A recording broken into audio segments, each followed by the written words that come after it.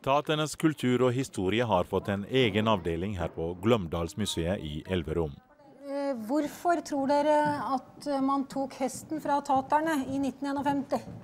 Fordi dere, de ville hindre dere å reise rundt, og så trodde de at dere stjal og sånn. Ja. Veronica er i dag sammen med sjetteklassinger fra Hunstad skole. Pappa fortalt mange ganger han at eh, han, eh, de sov i nærheten av hesten, for den ga fra seg varme. Og det ble en familiemedlem. Så den dagen når hestene, pappa fortalte den dagen når hestene var tatt fra dem, ble skutt mange ganger på flekken òg, så ble det en stor sorgens dag. Så der sto familiene igjen med skjæra. Ja, måtte ta pakningen og unger og alt og bare begynne å gå. Ofte tok de ungene òg i samme slengen. Så det var, det var en, ei fæl tid. Voldsomt fæl tid.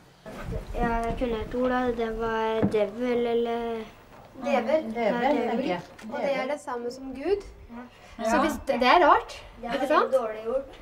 Men det er derfor ble misforståelser. Når vi sa 'djevel hilprar vorsnus', så sa vi 'Gud hjelp oss'. Men da ble det til at folk trodde at vi sa 'djevel hjelp oss'. Og det blir jo en stor misforståelse. Veldig stor kontrast. Veronica selv er representert i museet, og er fornøyd med at taterne har fått sin posisjon i dagens samfunn. Hun er samtidig opptatt av at det ikke skal føre til at man glemmer historien. Så er det viktig at vi, i hvert fall vi, den yngre generasjonen, deriblant meg selv, fortsetter å, å tenke på og, og mimres det som en gang har skjedd. Og ta det videre og lære det videre til mine fremtidige barn og barnebarn. En eh, viktig del av kulturen deres er at dere er en reisende folk. Ja. Men uh, det fins ikke noe eh, hest og kjerre i, i disse dager nå lenger. Nei. Så hva er det som er igjen eh, av kulturen deres, da? Mye minner. Og det er også håndfaste ting som uh, musikken. Vi har uh, håndverksyrke igjen. Det er veldig mange av oss som fortsatt lever av å, å være blikkenslagere, malere. Mange driver fortsatt og lager kniver. Så vi har mye igjen, men vi har mye også gått tapt.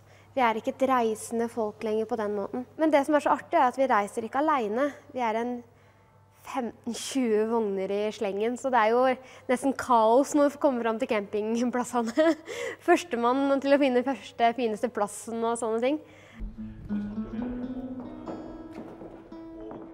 Se her, ja. Jeg fikk lov av konservator å, å sitte her og snakke med deg, da. Ja, så gøy. Ja. You want a cup of tea or what? Coffee, please. Hvordan reagerer du mot folk som ikke erkjenner at de er tatere? Er av taterslekt? Jeg har fått oppleve at det har vært negativt å fortelle hvem jeg er. At uh, folk har blitt sett på meg som en fremmed. At uh, jeg har vært noe som er skummelt, og, og noe som de ikke visste helt hva var for noe. Så, men i nå, i dagens samfunn, så er vi jo fått en, en viss status som en minoritetsgruppe. Det er jo egentlig ganske positivt å si at man er stolt over den man er. Men da skal jeg arrestere deg med et spørsmål, da.